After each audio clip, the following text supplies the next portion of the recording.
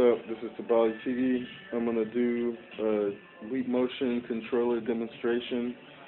Um, so today I'm going to use the program GameWave uh, because the Leap Motion controller itself needs a applica needs an application to be a user interface controller.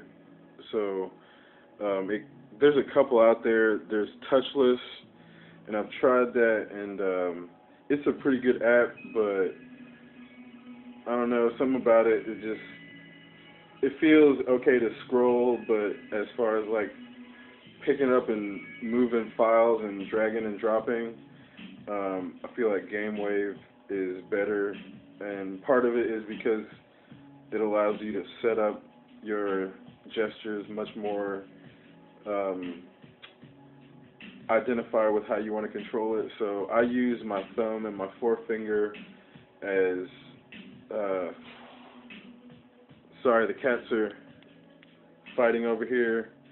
Dr. Duke and Joe Wallace face off.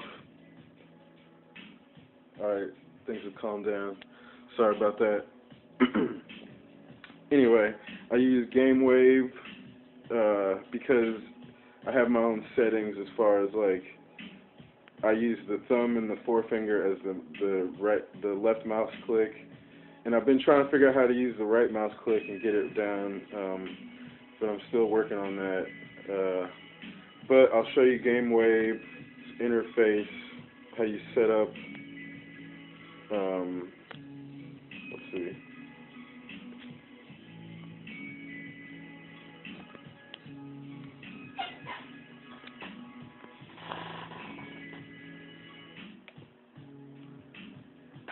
Guess I can't switch cameras while I'm using it.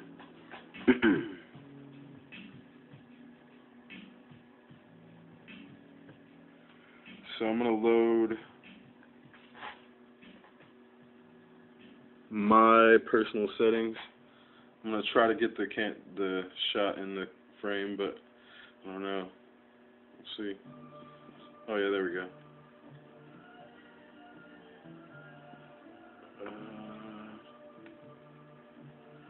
So as you can see, um, it starts tracking and it, I have it set so it automatically tries to locate if it's the left or the right hand.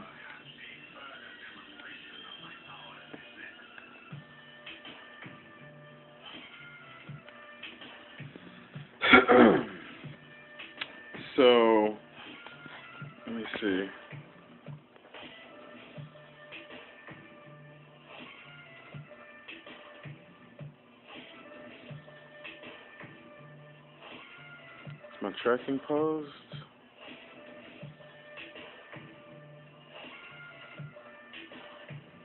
Oh, accidentally closed GameWave because I'm an idiot.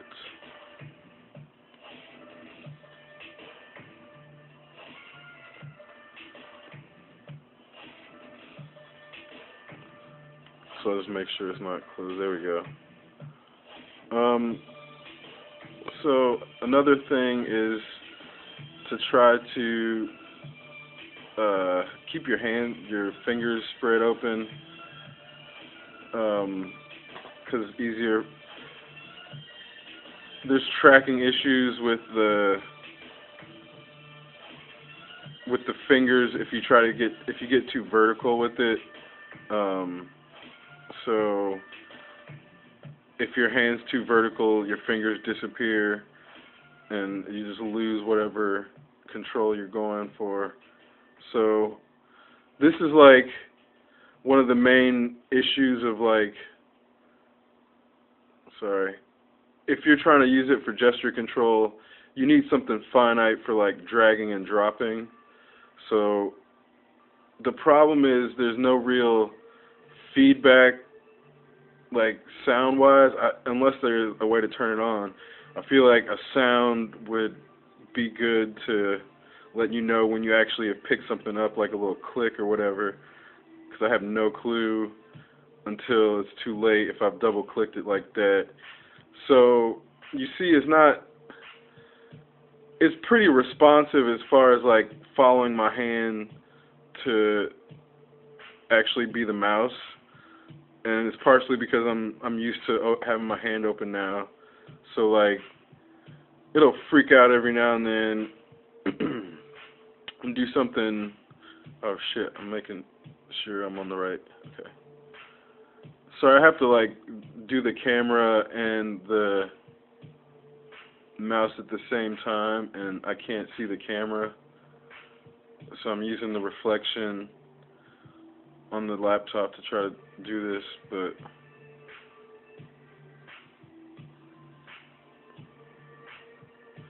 so I'm showing you this in during the daytime, and it's not the most optimal conditions, just to show uh, an unbiased use of it, because it's like if I said this worked 100% of the time, I'd be lying, and it's good good for anyone to see like what the limitations are, like in practical use.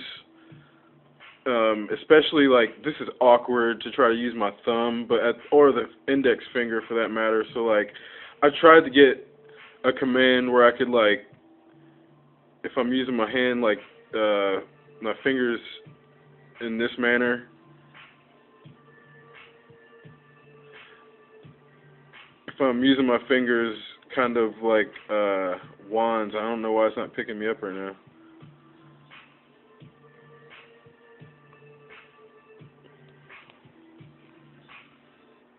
Go.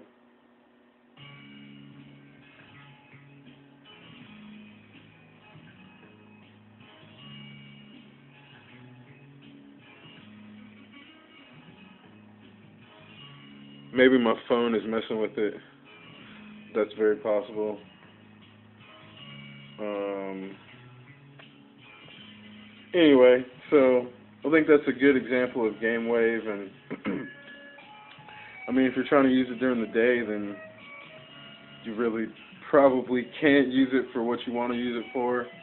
Like it's flipping out now because I'm using my, I'm holding my phone near it, but um, yeah, that's again.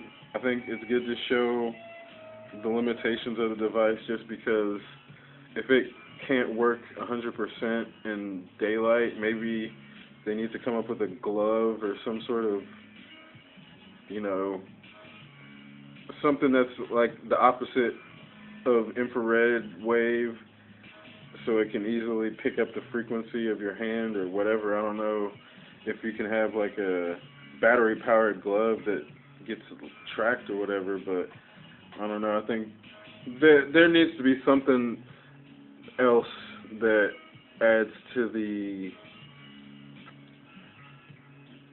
accuracy of the tracking because it's like if you're using infrared light to ping off of things and I mean people's hands are different colors.